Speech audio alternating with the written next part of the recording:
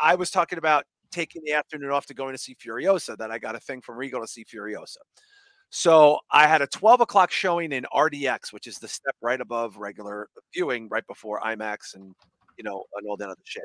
So I up my ticket for free as a Regal member, and I got out of work at noon. And I was like, you know what? I could be there in like 15 minutes. What's up, Marquise? Marquise Johns is chilling.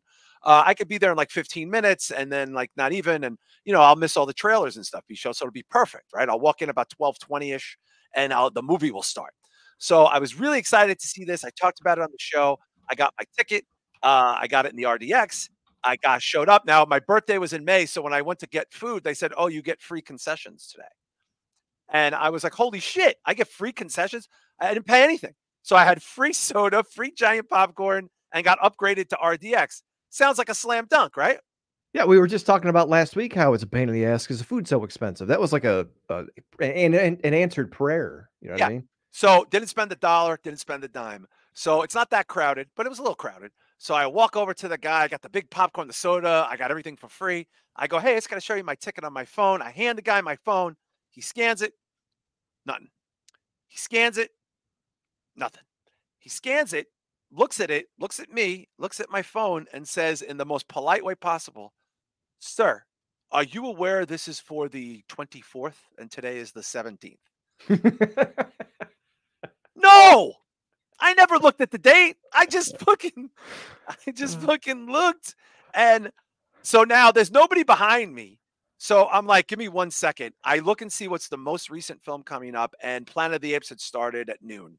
So I just hit the ticket, bought a ticket. There's like three people in a giant theater. Planet of the Apes. I was like, all right, I'll go see Planet of the Apes. It was great. it was so Really? good. It was really, really good. Like it's a good film. I'm not even gonna front, and I don't know if I was just like maybe in a mood and I just was a little embarrassed, and I was uh, like an hour in, I got very emo like it, it got me emotional. Like, yeah, it's heavy. wow. It's got a lot of themes, dude. Like, it's not about apes, yo. Like, Planet of the Apes is ain't about apes. You know, it's about the way we treat animals and the way we treat each other, and like war and like death and enslaving people and treating people badly. And I just became overwhelmed. And I'm sitting there in the wrong movie, crying, watching Planet of the Apes in my fucking popcorn. I'm like, am I crying? Like, what the fuck? Is, like, what am I going through menopause? Like, what the fuck is going on? But it was very good. I mean, have you seen the reviews for it? It's it's got great reviews. Well, I was just pulling it up while you were talking about it because I was actually surprised. A friend of mine's been trying to talk me into watching this. I haven't seen one since the Franco one, but uh, 80% on critic score, 79% audience score. Yeah, Pretty damn good. pretty damn good. Uh Shah's joined us. Is that the Prince of Philadelphia born and raised?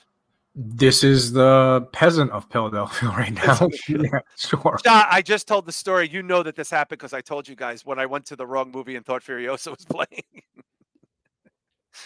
It's funny. I heard really good things about this uh, Planet of the Apes movie. It's so Um, good.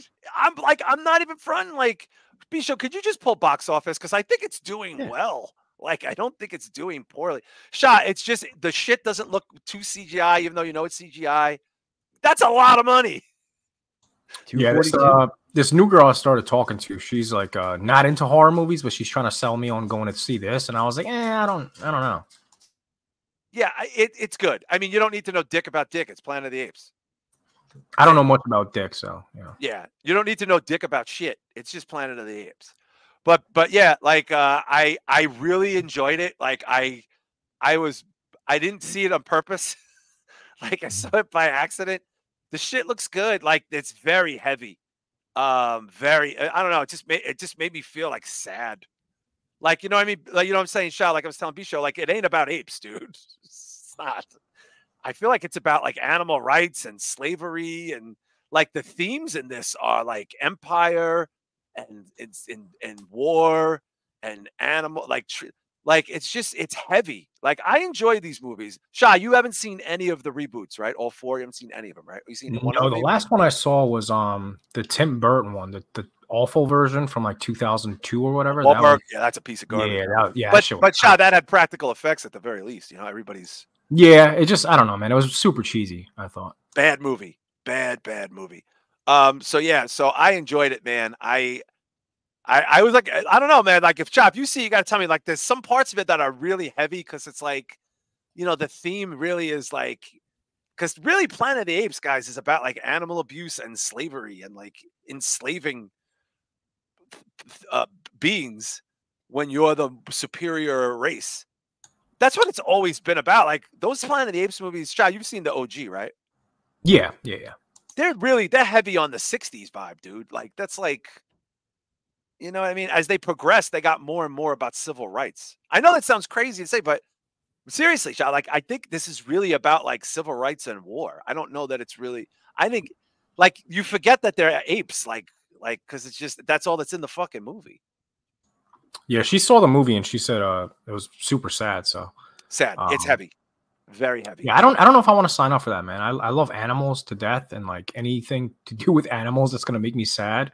Yeah, I don't too. need that in my life. I already, I'm already traumatized enough. I don't need that in my life. B show, you said you only saw the Franco one, which is a lot of talky talky. Yeah, I, you know, it, was it the one where John Lithgow had Alzheimer's and Franco's trying to yeah, cure it? Yeah, yeah and at the end, Caesar gets becomes yeah. coherent or whatever. Yeah, yeah. So I saw, yeah, I thought that one was all right, uh, and I saw the Tim Burton one. I didn't think that one was too bad, but it is cheesy as shit. Yeah. Um, it's just amazing to think of how far it's come where before it was like Charlton Heston and people in ape costumes. Yeah. And now you're crying because it's so heavy and loaded. Shot, I, I swear to God, I'm not making this up. An hour in, I didn't realize I was crying because there was some heavy, it was heavy. Like the shit that happened was fucked up. And I don't like, I can't, I can't, I'm like Shah, like I, I'm out. Like if an animal's hurt, I'm out. Like mm. I just, I can't. But you have to remember, it's eh, Planet of the Apes. Everybody's an ape. So it's just like like there's no human superiority in this movie. oh, okay. Like, so, I, okay. I, so it's it's all apes. There's no humans. Like there's one human. There's two. I don't want to give the because there's a camp. There's a very huge actor cameo in this that I did not know that is not credited. That is in the second half of the movie. That you're like, get the fuck out of here, and it, it's it's apropos of nothing. There's a young girl who is the female star of the movie, but other than two humans, everyone else is like a, a, is like a drooling lobster. I mean, they don't like the humans don't speak because it's now hundreds of years since it started. It's 400 years, I think, after Caesar. Caesar being the most coherent, like the king. Um, and Caesar's badass. I used to love Caesar. But Shah, like, I'm sitting there, hand to God, dude. I feel myself, and I'm like, the fuck? Like this. I'm like, I'm fucking crying at Planet of the Apes. Like, oh my God, dude. I just I don't like to see any kind of animal in pain, dude. I just I don't care. And I know yeah, that's why I didn't watch John Wick, man. Uh, once I heard like how the movie starts out, I'm like, yeah, it sounds cool, but I don't know if I can watch that shit.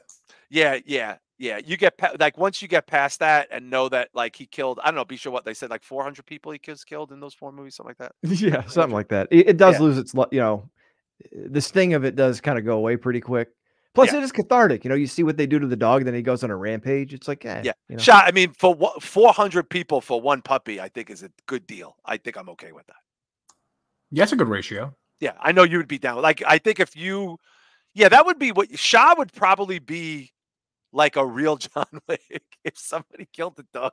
Dude, if Sean won, if, if Shah won Mega Millions, he would oh, just oh, yeah. be the John no, Wick. Shah, like, like people talk the talk Shah's the kind of guy that like if he saw somebody like throw a dog like uh, like like kick a dog's like like he's getting locked up. Well, like he's not even thinking twice about it. Let me let me give a quick side story without uh, incriminating myself. um, so there was two times, right? So one time in North Philly in Temple, I, I have I to say, uh, one time in North Philly at Temple, there was a frat house, and we saw this drunk white dude kicking a kitten. Oh, so I don't feel I don't I, I can share this one. It's fine. The next one I kind of have to. Yeah, you might want to censor yourself a little bit. Um, long story short, we jumped the shit out of this dude and took the kitten. And my friend in Brooklyn, Josh, he still has the cat till this day. It's an old cat now. last time I was in Brooklyn, I actually got to see the cat, and I was like, "Is that the one that we fucking rescued?" He's like, "Yeah." I was like, "Holy shit, that's wow. fucking great." Next one, um, when I was with my ex, not the last one, the one before that, right? Right, right. When I was with her, she had no idea I was like that crazy with animals. So we were going down Center City, and I saw this old man. I shouldn't say old, like he was probably like in his like he was older than me. I don't I don't know. I don't want to age the guy. Um, but he was dragging his dog, and I could tell the dog was tired. Oh god. And it's Center City. He didn't feel like carrying it, so he was dragging the dog. So I told her, I said, I'm gonna pull over real quick. I was like, yo, just watch watch my car real quick because I can't find parking. I'm just gonna put the blinkers on. Just watch the car real quick. Don't worry about it. I'll explain in a second. I pretty much stalked this man until he went into an alley. And long story short, I came back with a dog and we uh, gave the dog to somebody else. Yeah, yeah, yeah. You're John Wick. He's Shah Wick. Shah Wick. Shah Wick. that. Shah Wick. One of my proudest moments. I, yeah, I have no dude, regret. I don't doubt it for a second. Like, like he a piece of shit. He deserved it like if somebody like ever did something bad to it, like an animal that I owned and I knew I had to put like a, a small crew together, that's that's the first number I'm calling. I'd be like, yeah, you need to get down here. like you need to get down here tonight. you know, but yeah, Bisha, this doesn't surprise me in the slightest. No, the best part too is he's like setting it up like, you know, this one time, you know, it's I got a this. Well, you know, there was two times. It's like one of those it's like the crazy guy, you know, that has it one really bad, like he killed someone's story, and then he just yeah. slightly casually mentions there's another one. Yeah, I have a feeling like, there's more stories like this. Shot. Yeah. Oh yeah. No, but but the, but yeah. this is the thing. Like I know, like this is the way he is. Like you know, Sean, Sean and I chase spiders around our house and release them in the backyard. like, Absolutely. You think we're gonna let a dog or a cat or a bird or like you know a frog or you know like no I'm not into that. Like to me, oh, shout out to Mr. Yarsifer. Drew Yarsifer's in the house.